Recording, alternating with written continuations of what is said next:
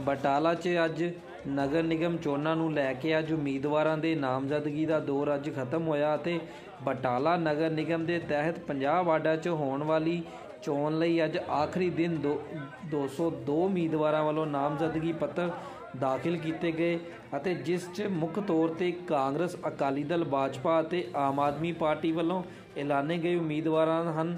ਅਤੇ ਉਸ ਦੇ ਨਾਲ ਹੀ ਕੁਝ ਐਸੇ ਵੀ ਉਮੀਦਵਾਰ ਮੈਦਾਨ 'ਚ ਹਨ ਜੋ ਰਾਜਨੀਤਿਕ ਪਾਰਟੀਆਂ ਤੋਂ ਨਾਰਾਜ਼ ਹੋ ਆਜ਼ਾਦ ਤੌਰ ਤੇ ਚੁਣਾਵੀ ਮੈਦਾਨ 'ਚ ਹਨ। ਉੱਥੇ ਹੀ ਐਸਡੀਐਮ ਬਟਾਲਾ ਨੇ ਦੱਸਿਆ ਕਿ ਅੱਜ ਨਾਮਜ਼ਦਗੀ ਪੱਤਰ ਦਾਖਲ ਕਰਵਾਉਣ ਦੀ ਆਖਰੀ ਮਿਤੀ ਸੀ ਅਤੇ ਕੁੱਲ 50 ਵਾਰਡਾਂ ਲਈ 202 ਉਮੀਦਵਾਰਾਂ ਵੱਲੋਂ ਨਾਮਜ਼ਦਗੀ ਪੱਤਰ ਦਾਖਲ ਕਰਵਾਏ ਗਏ ਹਨ ਅਤੇ ਕਈ ਨਾਮਜ਼ਦਗੀ ਪੱਤਰ ਦੀ ਪੜਤਾਲ ਤੋਂ ਬਾਅਦ 5 ਫਰਵਰੀ ਨੂੰ ਉਮੀਦਵਾਰਾਂ ਨੂੰ ਚੋਣ ਨਿਸ਼ਾਨ ਵੰਡ ਦਿੱਤੇ ਜਾਣਗੇ।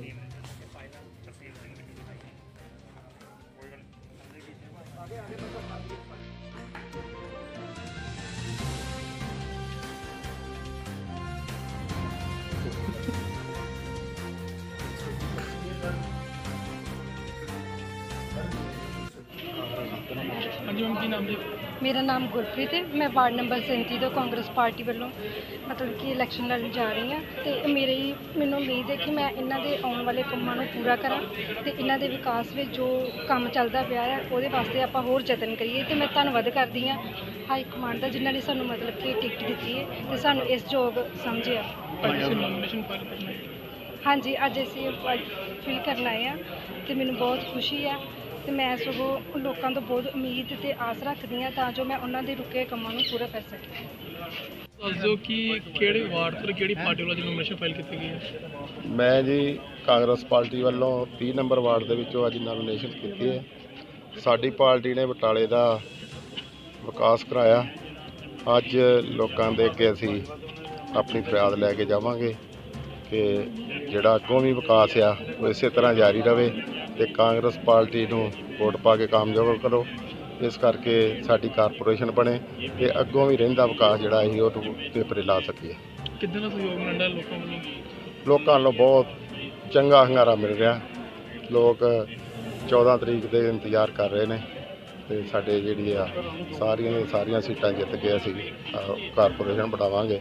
ਬਾਜਵਾ ਸਾਹਿਬ ਦੀ ਸਾਨੂੰ ਬੜੀ ਚੰਗੀ ਗਵਾਹੀ ਮਿਲੀ ਹੈ। ਕਿ ਸਾਡਾ ਜਿਹੜਾ ਪਛੜਿਆ ਸ਼ਹਿਰ ਸੀ ਬਾਜਵਾ ਸਾਹਿਬ ਦੀ ਮਿਹਨਤ ਕਰਕੇ ਅੱਜ ਉਹ ਤੁਸੀਂ ਤੁਹਾਡੇ ਸਾਹਮਣੇ ਹੈ ਤੇ ਲੋਕ ਵੀ ਮੈਂ ਸਮਝਦਾ ਕਿ ਉਹਨਾਂ ਦੀ ਇਸ ਮਿਹਨਤ ਨੂੰ ਇਸ ਵਿਕਾਸ ਨੂੰ ਵੋਟਾਂ ਪਾਉਣਗੇ। ਆਪਣਾ ਨਾਮ ਦੱਸ ਦਿਓ। ਮੇਰਾ ਨਾਮ ਹਰਮਿੰਦਰ ਸਿੰਘ। ਅੱਛਾ ਤੁਸੀਂ ਅੱਜ ਕੈਂਡੀਡੇਟ ਵਜੋਂ ਅ, ਭਰੇ ਆ ਨੋਮੀਨੇਸ਼ਨ ਦੱਸ ਦਿਓ ਉਹਦੇ ਬਾਰੇ ਥੋੜ੍ਹਾ। ਹਾਂਜੀ ਅੱਜ 20 ਨੰਬਰ ਵਾਰਡ ਤੋਂ ਆਪਾਂ ਆਪਣੇ ਕਾਗਜ਼ ਕੀਤੇ ਤੁਸੀਂ ਸੰਭਾਵੀ ਉਮੀਦਵਾਰ ਸੀ ਕਾਂਗਰਸ ਦੇ ਤੇ ਫਿਰ ਕਿਉਂ ਆਜ਼ਾਦ ਭਰਨ ਦੀ ਲੋੜ ਪਈ ਆਜ਼ਾਦ ਪਾਰਟੀ ਨੇ ਟਿਕਟ ਨਹੀਂ ਦਿੱਤੀ ਜੀ। ਪਾਰਟੀ ਨੇ ਇਹ ਨਹੀਂ ਦੇਖਿਆ ਕਿ 15-20 ਸਾਲ ਤੋਂ ਜਿਹੜਾ ਬੰਦਾ ਉਹਨਾਂ ਦੇ ਲਈ ਪਰਚੇ ਕਰਾ ਰਿਹਾ, ਬੂਥ ਸਾਂਭ ਰਿਹਾ, ਹਰ ਇਲੈਕਸ਼ਨ ਮੈਂ ਹੀ ਲੜੀ ਆ ਪੋਲਿੰਗ ਏਜੰਟ ਵੀ ਆਪ ਬੰਦਾ ਰਿਹਾ, ਜ਼ੋਨ ਇੰਚਾਰਜ ਵੀ ਮੈਂ। ਤੇ ਟਿਕਟ ਕਿਸੇ ਪਟਵਾਰੀ ਨੂੰ ਦੇ ਦਿੱਤੀ ਹੈ ਰਿਟਾਇਰ। ਮਜਬੂਰ ਲੋਕਾਂ ਨੇ ਕੀਤਾ ਕਿ ਕੰਮ ਤੁਸੀਂ ਕੀਤਾ ਵਾ, ਤੁਸੀਂ ਜਾ ਕੇ ਵਾਰਡ 'ਚ ਵਿਚਰੋ ਤੇ ਟਿਕਟ ਅਪਲਾਈ ਕਰੋ ਫਿਰ ਮੈਂ ਕੀਤਾ ਕਾਂਗਰਸ ਦੇ ਲੀਡਰ ਅਸ਼ਵਨੀ ਸੇਖੜੀ ਵੱਲੋਂ ਵੀ ਇੱਕ ਪੋਸਟ ਪਾਈ ਗਈ ਉਹਦੇ ਵਿੱਚ ਤੁਹਾਡਾ ਨਾਮ ਬੋਲਿਆ ਗਿਆ ਸੀ ਕਿ 24 ਅ, ਉਮੀਦਵਾਰਾਂ ਦੇ ਵਿੱਚ ਤੁਹਾਡੀ ਫਾਈਨਲ ਹੋਈ ਸੀ। ਅਸ਼ਵਨੀ ਸੇਖੜੀ ਵੀ ਇਸ ਚੀਜ਼ ਦੇ ਉੱਤੇ ਡਿਨਾਈ ਕਰ ਕੌਣ ਆ ਉਹ ਪਾਵਰਸ ਜਿਨ੍ਹਾਂ ਨੇ ਤੁਹਾਡੀਆਂ ਟਿਕਟਸ ਨੂੰ ਕਰਾਈਆਂ? ਕਿਉਂ? ਕਿਉਂ ਤੁਹਾਨੂੰ ਇਗਨੋਰ ਕੀਤਾ ਗਿਆ? ਪਾਵਰ ਹੁਣ ਦੇਖੋ ਮੈਂ ਪੰਜਾਬ ਓਬੀਸੀ ਸੈੱਲ ਦਾ ਕੋ ਚੇਅਰਮੈਨ ਨਹੀਂ ਹੈ। ਉਸ ਤੋਂ ਪਹਿਲੇ ਮੈਂ ਸਪੋਰਟਸ ਸੈੱਲ ਦਾ ਚੇਅਰਮੈਨ ਵੀ ਰਿਹਾ।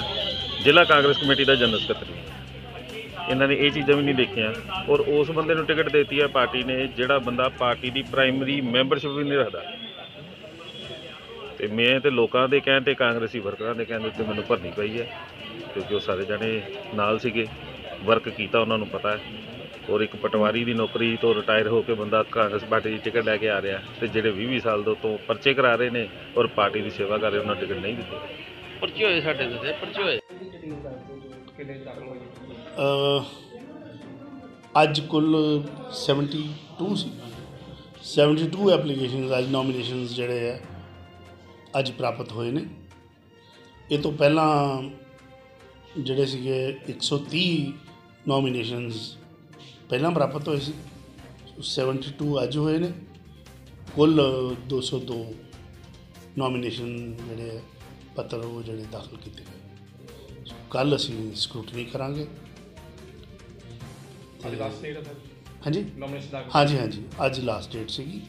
ਸੋ ਅੱਜ ਅਸੀਂ ਹੁਣ ਸਮਾਪਤ ਕਰਤਾ ਨੋਮੀਨੇਸ਼ਨਸ ਦਾ ਦੌਰ ਤੇ ਕੱਲ ਅਸੀਂ ਸਕਰੂਟਨੀ ਕਰਾਂਗੇ। ਪਰਸੋਂ ਵਿਦਡਰਾਅਲ ਦੀ ਡੇਟ ਹੈ। ਸੋ ਵਿਦਡਰਾਅਲ ਤੋਂ ਬਾਅਦ ਇਮੀਡੀਏਟਲੀ ਨਾਲ ਹੀ ਸਿੰਬਲ ਅਲੋਟਮੈਂਟ ਜਿਹੜੀ ਉਹ ਕਰਦੇ ਤੇ ਕੰਟੈਸਟਿੰਗ ਕੈਂਡੀਡੇਟਸ ਜਿਹੜੇ ਆ ਉਹ